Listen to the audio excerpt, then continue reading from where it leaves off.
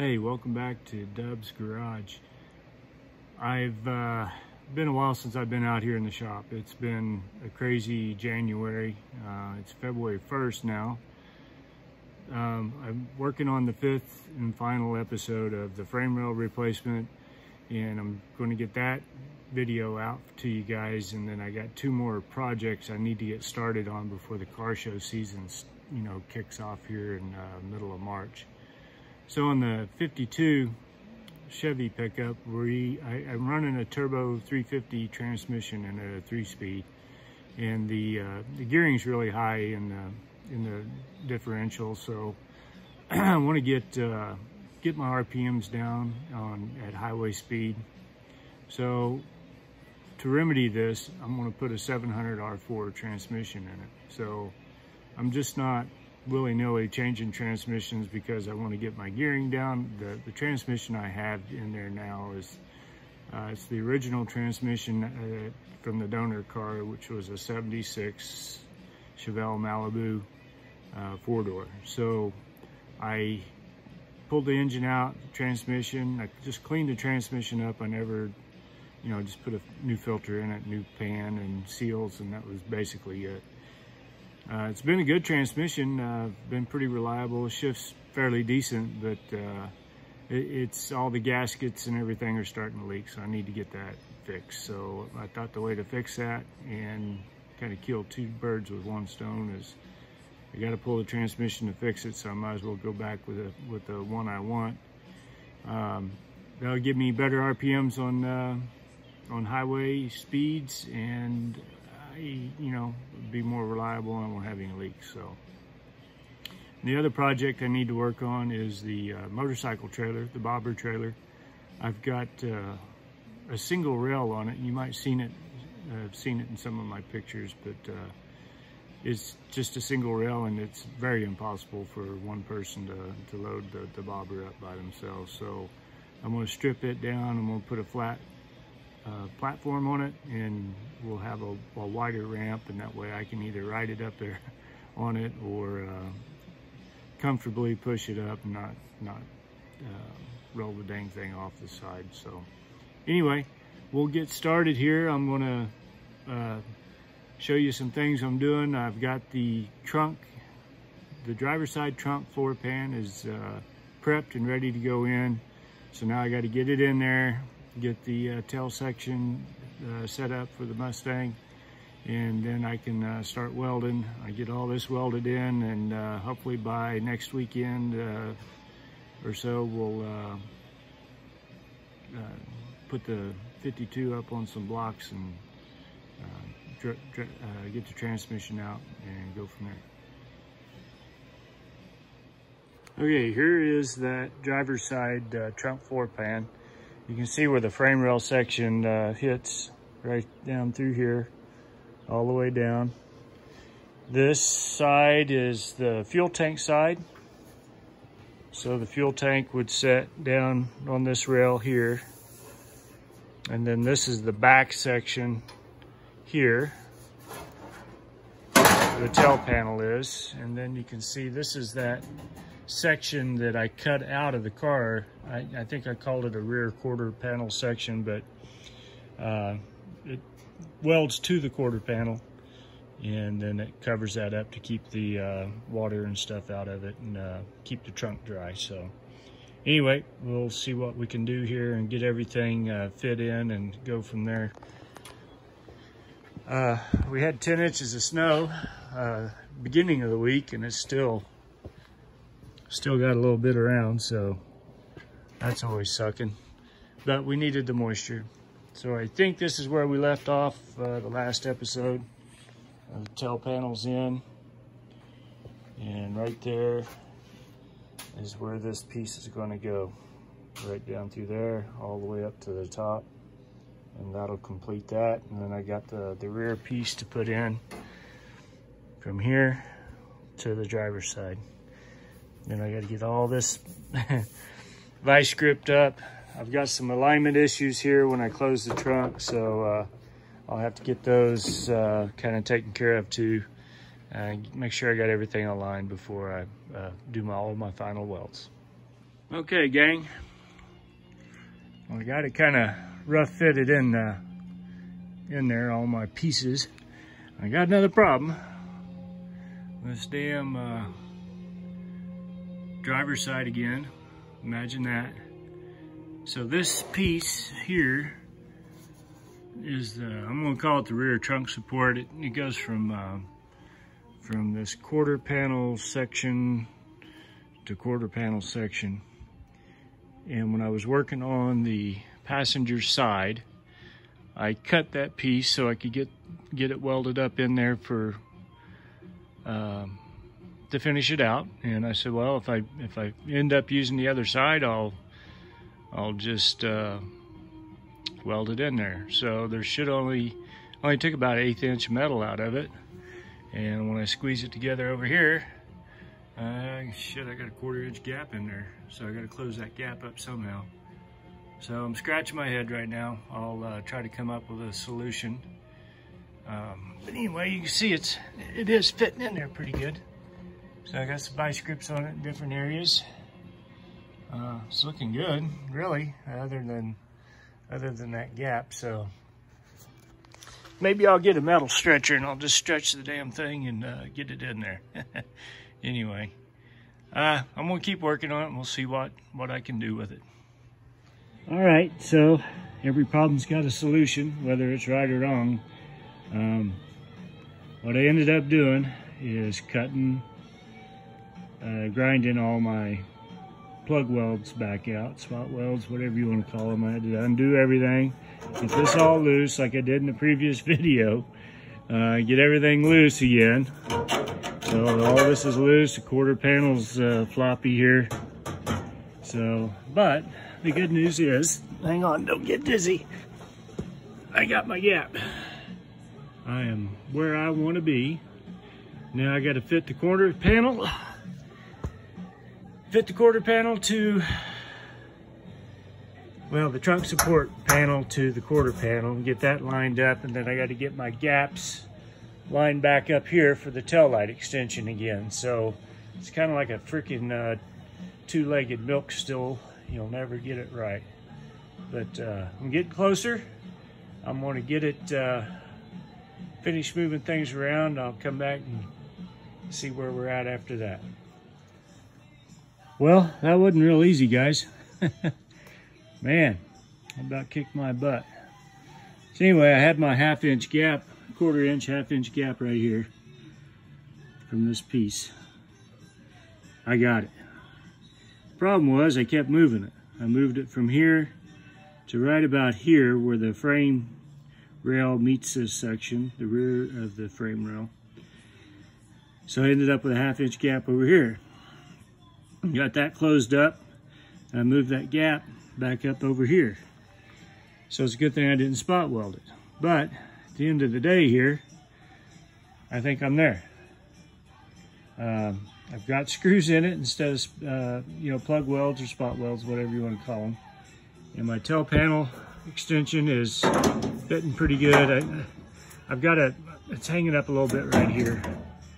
So that's, I've got to get that uh, hammered down, welded, and beat it into submission. But as far as that goes, I'm liking it.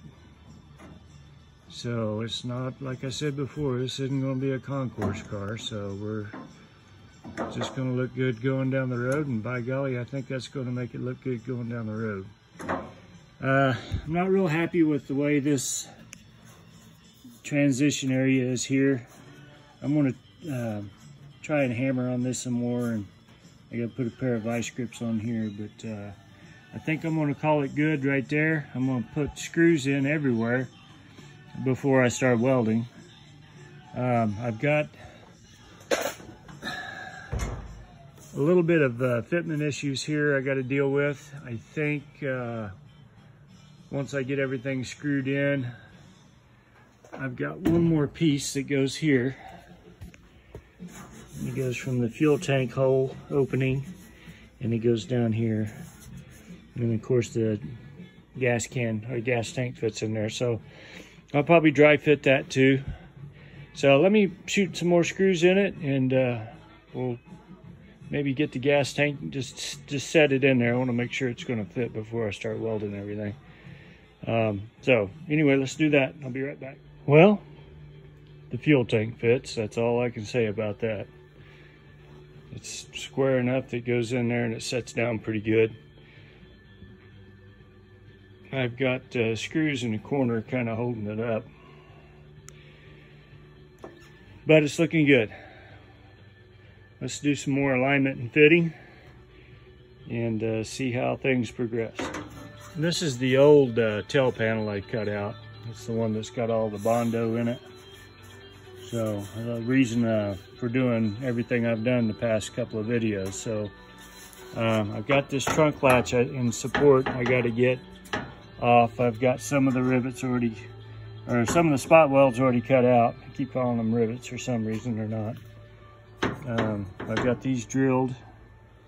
I just need to get my spot weld cutter and cut them out. And uh, then we'll screw it into the uh, into the new piece and then we'll start doing the uh, trunk alignment.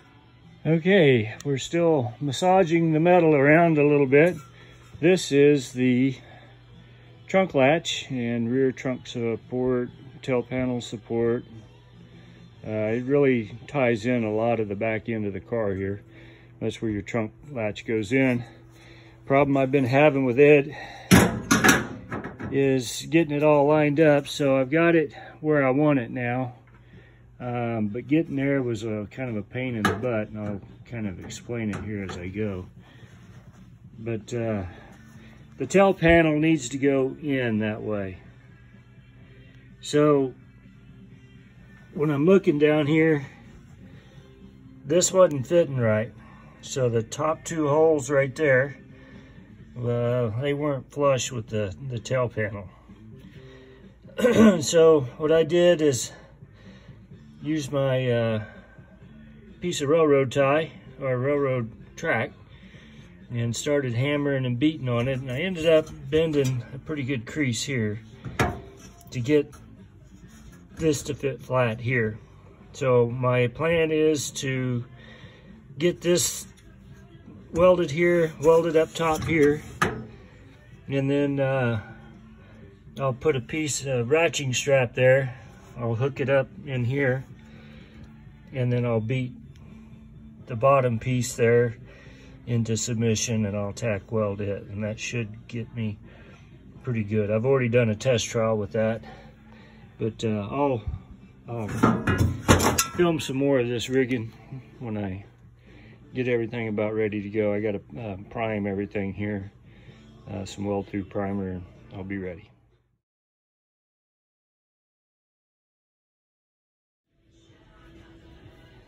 Okay, I think I'm at a as good of a point as any to wrap this video up. Uh, I've got a ton of welding left to do, but let me show you what I got. So you notice the trunk is closed now. So I got that all uh, aligned up. I'm, I'm a little high on the um, driver's side. I think a little more fitting time I get everything welded in and change my gasket out. I'm not gonna mess with it right now. I think I'm flush over here. I just got, this is loose, so I gotta just get that aligned. Uh, get the trunk open here, my magic key.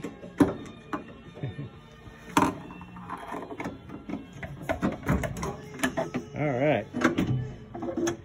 So I've got the, the trunk latches in and I've got it all nice and pretty back here now. Just got welding to do, a ton of it. It's everything's where it needs to be. I've got screws holding it together and I'm not going to bore you with uh, welding. There's plenty of YouTube channels out there with welding on it, so I'm not going to go into that, but you can see where all my plug welds are going to go. I'm going to shoot some screws in there. A few more screws just kind of hold everything in place and then I'll come out in the evenings and, and on the weekends and I'll just um, start welding everything up. Uh, that's going to wrap it up for this video on the frame rail replacement. It's been a long battle, but I'm glad to be done with that. Uh, I'm going to go ahead and put the floor pan in at some point. I'll probably do a, a quick little video on it, but it's ready to go in. Uh, I've got the, the, rear part of the floor pan in, so um, of course the other side's in too. I just got a ton of welding to do, and I, I don't think I'm to video any of that welding. I might, uh, you can kind of see some of my, my markings here on where things are supposed to go. So uh, I might cut in and uh, make a video on that, um, the final fitment and everything of the floor pans. My next formal Mustang video will be the uh, cleaning up the leaf springs and overhauling the rear differential. Uh, we'll go into that, um, maybe do some more live, uh, not live, but actual filming of the teardown of it and everything instead of stopping and starting the video and tearing into it. So anyway, hey guys, I really appreciate you watching. And uh, if you would like, please like my videos. And uh, if you're into, if you got an account, please subscribe to my uh, channel. I like to know that people enjoy the videos and uh, hope to find them helpful or at least encouraging anyway. Uh, like I said in the beginning, uh, we're going to put the transmission in the 52. That will be my next formal video. We'll jack that thing up, get it ready to go, um, and get the new transmission in it. I called the guy up in Wichita last week and got it ordered. He's got it on the build list. It's nothing fancy. It's just going to be a 700 R4 stock. And we'll get this thing up on blocks, get it up high so I can get in there and get the transmission out and uh, put the new one in. I'll probably have to get the drive shaft either shortened or lengthened, one of the two. We'll figure that out when we get there. But hopefully that's just a couple of weekend job there and uh, we'll be driving it and we'll be ready for the car shows, some of the more long, dip, further away car shows. Uh, with that overdrive, that may help me out quite a bit. All right, again, thank you. Appreciate it. Catch you on the next video.